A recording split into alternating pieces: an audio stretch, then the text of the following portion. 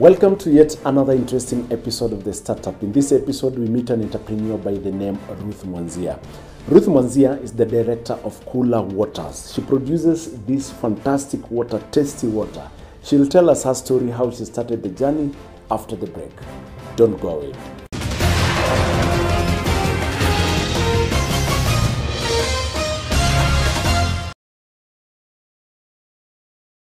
Fantastic, name. Ruth. Thank you. Yes. How did you first of all come up with a fantastic name like this one, Koola Waters? One day, I was actually driving to work with my mom. So I thought that water makes you, actually, water makes you cool, makes you feel hydrated. Then my mom was like, why don't we connote the name cool and actually just put an A at the end? So it became koola waters and it sounded really really good. And something that uh, we would use and attract even people to buy the product. So that's how koola waters came. And then you know it's also then we decided to also remove the c and, fill, and replace it with k. That's it. Koola waters. And also koola waters can stand for Karen where it's manufactured for the country where it's from. Yes that's how we came up with the name koola water How was the journey? How did you start the business? um, the journey began in november 2014 So you're still a startup. Yes, yes, we are still we are, we are still a we are still a startup. Although now we are trying to to scale up yes. from being a startup. At least now we become the medium sized and all. So yes, we, we have plans to actually expand and be a household name in Kenya. But we began in um, in November 20, 2014 after I graduated from school. My background is that I grew up in Kitui, facing a lot of challenges to do with water scarcity, to do with water shortages, droughts. As you know, in Kitui, we have the semi-arid kind of climate, so we have like two rain seasons, and sometimes rain is not even promised. So I sat back and asked myself, what can I do to bring a solution to my community? I, I all I knew all along I wanted to do something with water, but you know I wanted to do but, uh, bottled water and everything. So I talked to one of my best friends who really encouraged me and told me, why don't you start with bottling the water as you think of other solutions to come up. Wow. Wow. So it's out of passion, we can say. Yes, it's out of fashion. Your professional background. I know you're in communication. Yes. How the transition?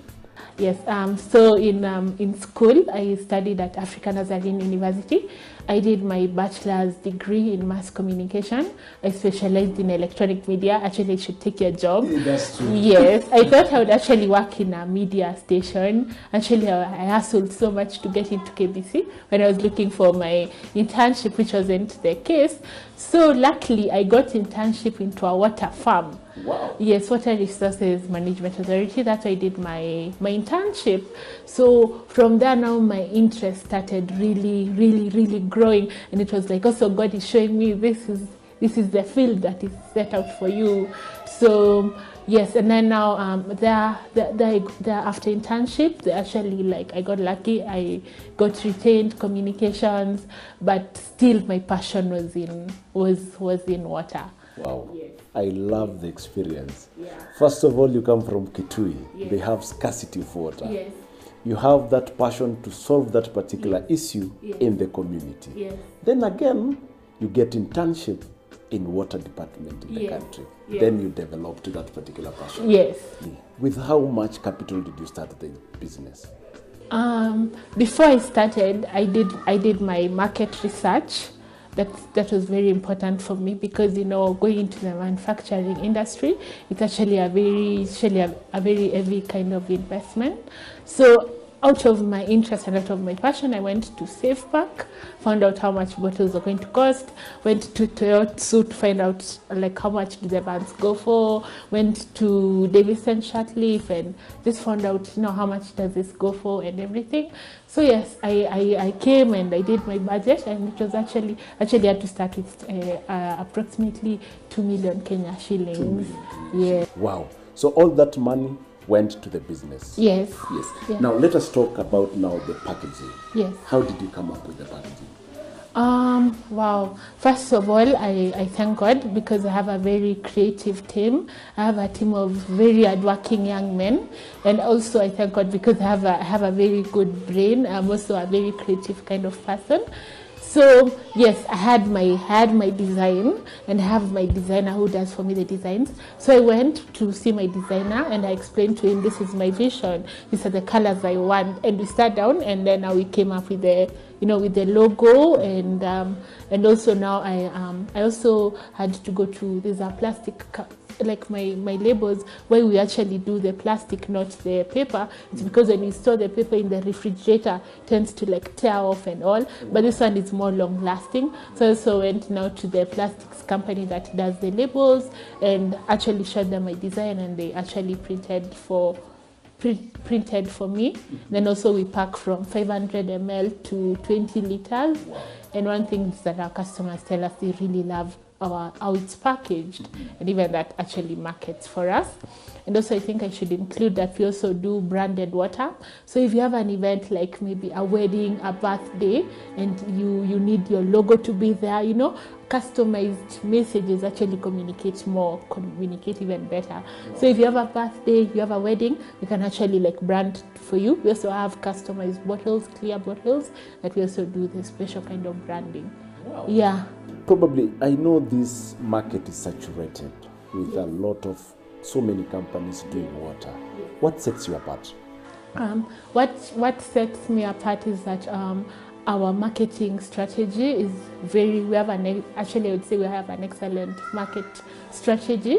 Uh, also, the way um, guys, we, we don't only market on social media, but we also go to we also do door to door. We actually try to reach our customers from where they are. Apart from that, we're also involved in many CSR activities. I just don't believe yes, money is important, but it's not always about money. It's also about making creating an impact, and that's why we we involved in many community activities. Like in Mathare, we we uh, we partnered with an organization. It's called the Ghetto Talent Initiative. So what we do is that now we ment- we mentor those kids from the slums, and also um, they have different talents. Some are artists, some are models. So we bring them to this institution, and where they are now, they are mentored and they are shown there is much more to life than what you than what you see. Also in Korogosho, we carry out such a such a program, and I would say um, I thank God because we've gotten recognized now. We have an award from African Nazarene University for giving back to the society. I've also been shortlisted by CESRA, an organization that um, actually checks on companies that do social responsibility and i'm actually going to be a, to be, to have the second award so i thank god for the journey Since you started the business Yeah. up to now, Yes. have you faced any challenges? yes i have faced a lot of a lot of challenges but we've also managed to overcome most of them uh, my first challenge i'd say it's a competition as you know the bot- as you stated the bottled water industry in kenya is flooded. So there's a lot of competition but it depends on how on how you stand out in the market. As i've told you that the way we market our products and also uh, the we are al- we are always in touch with our with our with our customers. And also um, the way yeah the way we, ra- we we run the business actually that gives us a, and also doing the branded water and everything that gives us a competitive edge over over over the rest. Another challenge that i face is market penetration especially when you need the market. People ask you why should i consume your product? I'm used to this other pro- product. Why, why, what makes your product different? But what i do is that i just give them samples they get to taste and like wow this is what i've been missing. The taste actually can even open this and actually really taste because it really tastes good because our water goes through seven stages of filtration and it's very pure and we are KEBS certified. So that means as in the sweet taste actually also wins for us more more clients and also i would say at some point also capital sometimes is a challenge especially now when us we're at that stage where we want to scale up and also yeah sometimes capital is a big big challenge yes Okay. Yeah. Now, you have been in business for almost now two years. yes Though you're still a startup Yes, and yes, uh, I know you're scaling up. yeah What lessons have you learned? I have learned many lessons. One of them is just the the, the value of, of persistence. You have, you have you have to persist. You just you just don't start something and you give up because it's because it's hard. And that's why I tell anyone who wants to start a business, you have to be passionate about it. And apart from the passion, you have to you have to keep on going no matter how difficult it it becomes because the, time the time you are about to give up is when you a breakthrough happens. So don't as in yeah, keep on being uh, persistent.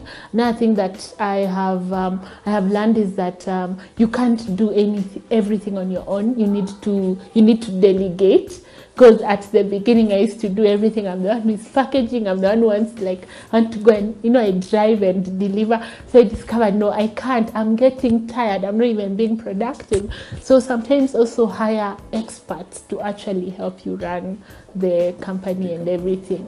Yes. You're young, very passionate, Yes. family and friends. Did they support you when you started the journey? Um, yes, I would say um, I got lucky because uh, once I sh- first I shared the idea with my best friend, and she's the one who really, really pushed me because she really believed in in what I wanted to do, and she's the one who even suggested start with bottling before now you. You, you do it in a bigger in a bigger way. Start with start with bottling. I also talked to my dad, and then I also later on talked to my mom, and they are very very supportive because this was a common challenge. We had all gone through it issues to do with water scarcity. As I told you, we'd go to the river and like find the river is dry, and sometimes we'd have to send for a clean water tank all the way from Town. It's very expensive and all, and the water, you know, you have to like when you're bathing, you know, you have to use little water because it's the same one to use for cooking and everything. So yes, my yeah, my I actually got very uh, supportive family and I thank God for that because they actually gave me the boost and the energy to be able now and the motivation also to start. Yeah. Two years from now, three years from now, you see koola waters. Where do you see it as a company? Yes, one of uh, we want to become a household name in Kenya. We want we just want to be though we're in other areas we in, we in um, apart from Nairobi we're in Githunguri, we're in Limuru, we are in um, Kitui, we in, we in Kabete, we also in Machakos. So I just want Cool Waters to become a household name in Kenya. We want to go to other regions like Mombasa, Kisumu, Kitale. Yeah, and also apart from that, we also want to go to at least one East African country. We're still deciding whether we want to do maybe Tanzania or Uganda.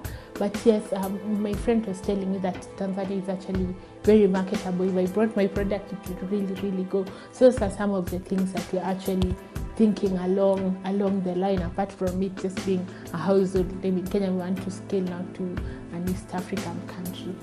Ruth, I know you will seriously achieve that. What drives you as an entrepreneur?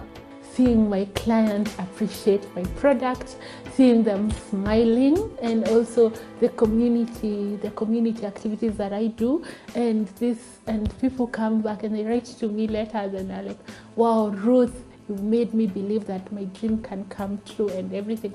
So that helps me and that keeps me going. Just uh, my clients are smiling and everyone is just smiling then that really, really drives me, gives me the motivation. Wow. Thank you so much. Thank you. Yeah. Yeah. The biggest lesson that we've learned from this story is are your clients smiling? After the break, how they were started, then later on, a startups expert. Don't go away.